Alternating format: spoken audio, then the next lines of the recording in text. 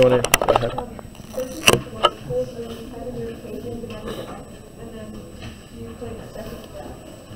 Right, so we're going to do y equals. Uh, do you know how to type this specific graph right here?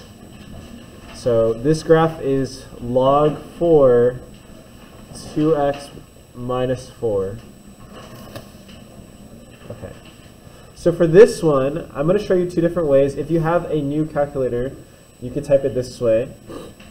So uh, for this one, you could type it as log 2x comma 4 and then we're going to close it off minus 4.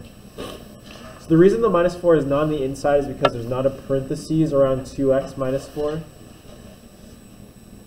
If you have an old calculator, you would type it in as uh, log 2 of x parentheses divided by log 4 parentheses minus 4.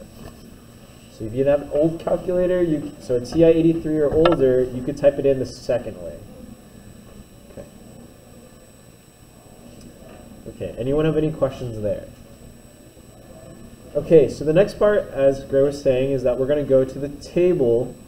Does anyone remember, how do we get to the table here? How do we get to the table? And she mentioned it, but does anyone remember, how do we get to the table?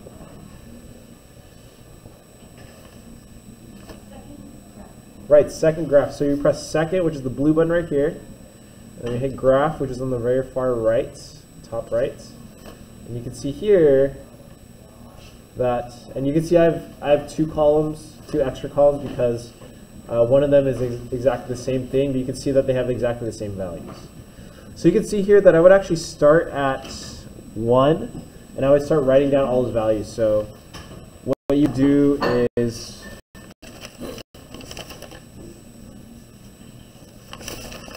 For this one, I would just go ahead and start writing down the values. So it'd be like 1, negative, uh, sorry, this should be x and y.